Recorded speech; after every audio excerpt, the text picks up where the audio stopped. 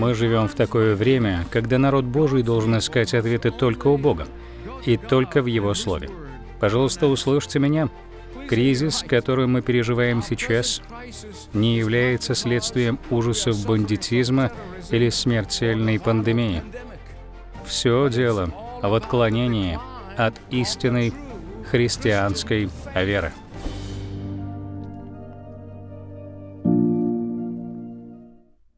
Читая Писание, мы видим, что Бог задумал семью не просто как средство защиты детей от дурного влияния культуры, Он вложил в это нечто большее. Его замысел в том, чтобы христианская семья была плацдармом и наступательной силой для отвоевывания для Царства Божьего культуры, захваченной сатаной. Христианская семья является своего рода агентом Церкви Иисуса Христа по распространению истины. Каким образом мы это делаем? Ну что ж, давайте вместе посмотрим 127-й Псалом. Я думаю, все согласны, что слова «блажен» и «благословение» — это чудесные слова. В духовном мире это означает не что иное, как благосклонность Бога Пожалуйста, поднимите свою руку, кто хочет благословений, а кто не хочет благословений. Разве есть такие? Кто не хочет быть благословленным? Слова благословения и благословит. упоминаются четыре раза. В первом, втором, четвертом и пятом стихах. В последнем послании, разбирая 126-й псалом, мы увидели благословение Божие, выражающееся в том, что наши дети станут стрелами в руке величайшего стрелка из лука. Этот псалом очень ясно говорит, что когда мы с верностью вкладываемся в будущее поколение — когда изливаем наши жизни ради них, тогда мы будем благословлены. В 126-м псалме упоминаются только отцы и сыновья. Здесь уже упоминаются и жены, и дочери, и даже внуки. Правда ведь это чудесно, да? А видите, что псалмопевец говорит? Он говорит, что когда мы вкладываемся в новое поколение, когда мы стараемся ради них, Тогда Бог благословит не только нас самих, но и наше будущее поколение. И даже больше этого, Он благословит также и поколение, которое придет вслед за ними. Кто скажет на это «Аминь», дорогие друзья? Давайте вместе посмотрим на условия этого обетования. Согласитесь, нам всем нравится получать обещанное, ведь так? Но лишь немногим интересно знать про условия при которых обещание будет выполнено. Первый и второй стихи. «Блажен всякий, боящийся Господа, ходящий путями Его». Вот это условие. Видите? Ты будешь есть от трудов рук твоих. Блажен ты, благо тебе. Я должен здесь пояснить кое-что. В особенности, я хочу объяснить это молодежи боящийся Господа, не означает быть запуганным Богом или абсолютно бояться Бога. Многие люди учили этому раньше и даже сейчас продолжают это делать. Есть те, кто описывают Бога вечно злым, капризным, как будто Он только и ждет, чтобы ты сделал ошибку или упал, чтобы дать тебе подзатыльника. Справедливости ради скажу, что наш Бог — Бог справедливости. Не забывайте об этом. Это другая его сторона. Он не даст несправедливости длиться вечно. Однажды, рано или поздно, он разберется с этим, но вместе с этим он также проявляет себя нам как Бог благодати и милости. Он никогда не отказывает в своем прощении тем, кто ищет его. Слово Божие говорит о страхе Божьем, которое означает то, что мы постоянно, сознательно находимся в полном благоговении перед Богом, и мы желаем искренне слушаться Богом из чувства уважения и благодарности. Мы так высоко ценим Его, что не делаем со зла сознательно и преднамеренно ничего, что могло бы оскорбить святого Бога. А вот что это означает. Но благоговение должно начинаться с духовной обстановки дома, с духовной главы дома, Этим человеком является тот, кто живет в послушании перед Богом, кто почитает Бога и ходит перед Ним в благоговейном трепете. Это тот, кто оказывает почтение Богу во всех жизненных ситуациях. Только в этом случае следующее поколение будет духовно благословлено до подошвы ног, еще даже до того момента, как они сами будут способны это осознать. Но если будущее поколение видит, как мы не воспринимаем нашего Бога и Его Слово всерьез, что мы относимся к Нему как джину из волшебной лампы, который нам нужен только, чтобы получать то, что нам хочется здесь и сейчас, то тогда они просто предпочтут отвернуться от такого лицемерия. есть еще одна причина, из-за которой многие из нашего следующего поколения разочаровываются в христианстве. Это лицемерие тех, кто стоит за кафедрой. Я объясню это вам. Многие из вас знают значение слова «мирской». Но если кто-то из вас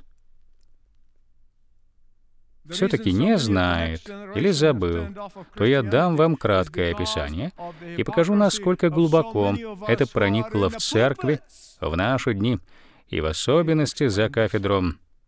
Слово «мирской» произошло от латинского «саекулум», что означает «это поколение», «этот мир», «это жизнь». Оно противоположно по значению духовному миру и вечной жизни. «Мирской» означает, что очень мало смысла придается чему-то за пределами этой жизни и чему-то кроме самореализации. В контексте мирского вечность на небесах не играет никакой роли. Это становится просто чем-то несущественным. А когда такое происходит, возлюбленные, тогда на первый план выходит желание мгновенного удовлетворения и наслаждения. Если мы не искореним такое мышление в церкви, то мы потеряем будущее поколение. Все это начинается с мысли, с процесса и образа мышления. Вы спросите, а почему? Да потому что поступки следуют за мыслью, а не наоборот. Поступки следуют за мыслью. И когда в псалмах говорится «ходить Божьими путями», там не имеется в виду только по воскресеньям. Или Думай о Боге, когда тебе действительно что-то нужно от Него, или когда ты хочешь, чтобы Он что-то сделал для тебя, или когда ты хочешь, чтобы Он исполнил твои желания. А вы когда-нибудь задавали себе вопрос, почему Библия говорит о хождении с Богом? Ведь нам не говорится сидеть вместе с Богом, и на это есть причина. Потому что хождение подразумевает под собой определенное движение. Хождение говорит о процессе роста. Роста в чем? Роста в нашем духовном и библейском мышлении. Бытие, пятая глава. Енох ходил с Богом. Это не означает, что Енох регулярно прогуливался с Богом. Это не означает, что Енох горячо молился, когда желал получить что-то от Бога. Нет, это мирское мышление. Мирские мысли. Бытие в пятой главе с 21 и до 24 стиха говорит, что Еноху было 65 лет, когда он начал ходить с Богом. 65 лет. В этом возрасте он стал отцом Мафусала, который прожил на земле дольше кого бы то ни было. Итак, в 65 лет он стал ходить с Богом. И говорится, что он продолжал делать это в течение 300 лет. Даже для Ветхого Завета это серьезный срок. Я рад, что живу в Новом Завете, потому что не хотел бы даже близко жить так долго. Задумайтесь об этом. Триста лет он ходил с Богом. Это не какая-то случайная прогулка. О нет, чем же Енох был занят все эти триста лет? Пока ходил с Богом, апостол Иуда, брат Иисуса, говорит нам в своем коротком послании — что Енох жил в полном послушании. Понимаете? Видите теперь, что это означает? И запомните еще кое-что. У него не было Библии. Он не посещал группу по изучению Библии. У него не было друзей-христиан, которые бы подбадривали его. Он не мог сходить на вечер поклонения.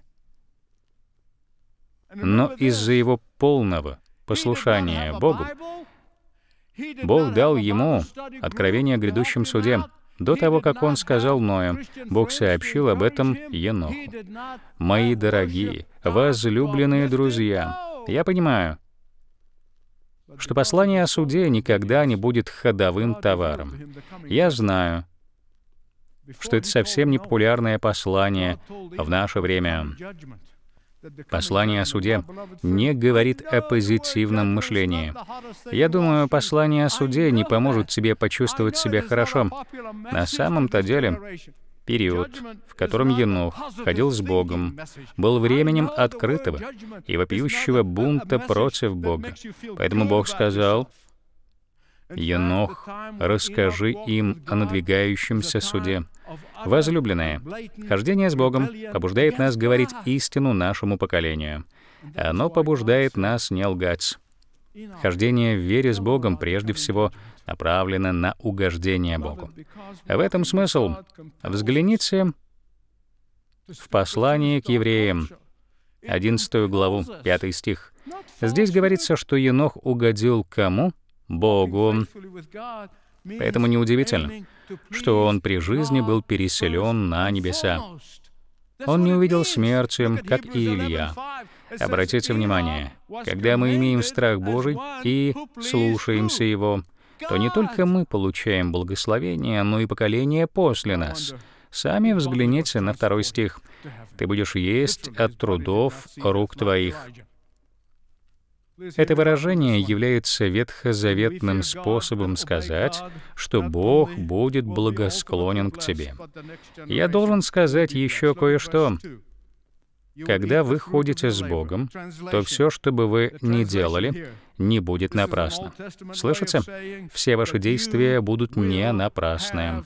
Самое первое благословение — прихождение с Богом — это то, что все обстоятельства Он обращает себе во благо и ради Его славы. Второе.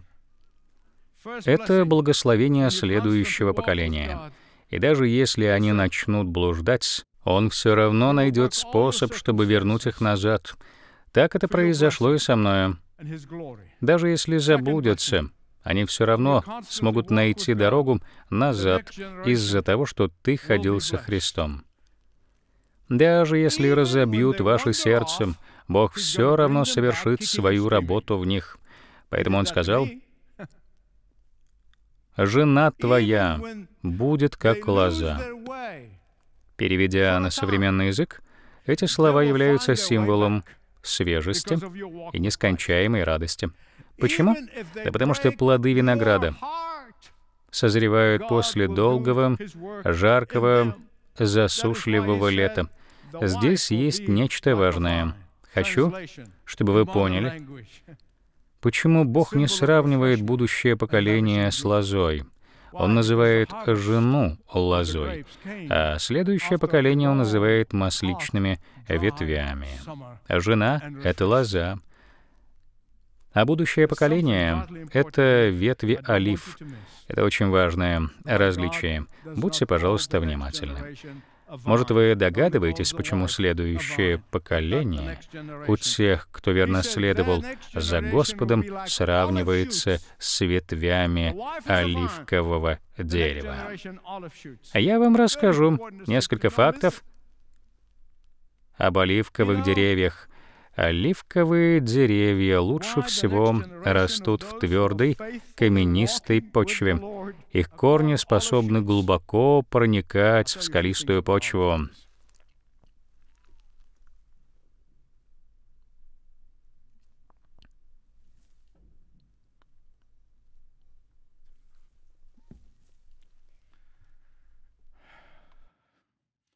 Но растут они очень медленно. Этим саженцам уже три года. Их дал мне один мой коллега со Среднего Востока. Они очень медленно растут. Их еще не высаживали в почву. И вот вам факт. Оливковые деревья начинают плодоносить не ранее семи лет, проведенных в почве. Но первые плоды все равно будут не очень. Чтобы они стали действительно хорошими, необходимо будет подождать около 15 лет. Чтобы поднять будущее поколение, нам потребуется настойчивость, должный уход и Божьи инструкции. И тогда Господь вырастет эти масличные ветви в наших домах и наших церквях. При нашей настойчивости победном настрое и понимании, что они — это Божье наследие, Господь сделает великие дела через них.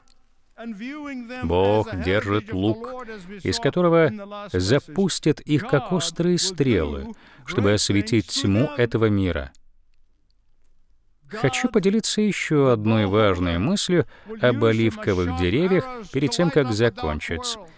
Хорошо укоренившись, эти деревья не будут требовать особого ухода или надзора и смогут приносить плод в течение 20 поколений. Только представьте, 20 поколений. То есть, как только они наберут силы, они смогут уже сами позаботиться о себе. Библия говорит, настав ребенка при начале пути, и он или она не свернут с него даже когда вырастут. Ну и еще кое-что. Эти деревья вечно зеленые. Если их посадить в правильную почву, то они будут дарить красоту вне зависимости от времени года. А в заключение я хочу рассказать вам две контрастные истории, которые иллюстрируют разницу между теми, кто стремится вкладываться в следующее поколение, и теми, кто так не делает. История первая. В апреле 2000 года Руби Эллисон и Лора Эдвардс погибли в Камеруне, в Западной Африке. Руби было за 80, она не была замужем. Она отдала свою жизнь будущему поколению в своей церкви в Камеруне. Лора была вдовой. Она была доктором. Ей тоже было за 80. Она служила новому поколению вместе с Руби. Бок о бок в Камеруне. В их машине отказали тормоза, и они сорвались со скалы. Они погибли мгновенно. И можно я задам вам один вопрос? Было ли это трагедией? Нет. Нет, не было. Это не было трагедией. Две жизни, наполненные страстью для Христа, для служения будущему поколению, ради славы Божией. Это совсем, совсем не трагедия. Их жизни не были потрачены впустую. Они были инвестированы. И вот теперь вам вторая история. Эта история опубликована в известном издании. Она о супружеской паре, которая вышла на пенсию и переехала с северо-востока в Пунта-Гордо во Флориде. Ему было 59 лет, а ей 51 год. Они провели свою пенсию, катаясь на огромной яхте, играя в гольф и собирая коллекцию ракушек. Слыша такое впервые, можно задаться вопросом, это шутка или это пара воплощения американской мечты? К несчастью, это была их мечта, и они воплотили ее в жизнь. Но когда они подошли к концу своей жизни, самого драгоценного дара, не считая спасения, конечно же, мне даже сложно представить, я могу только вообразить, какой отчет они давали Богу. Посмотри, Господи, какая замечательная коллекция ракушек. Ну разве она не прекрасна? Видишь, вот это самая настоящая трагедия. А каков будет Твой отчет. Что ты скажешь? Какой отчет ты дашь и что ты ответишь? Будешь ли ты продолжать служить, отдавая свою жизнь, или продолжишь жить для себя?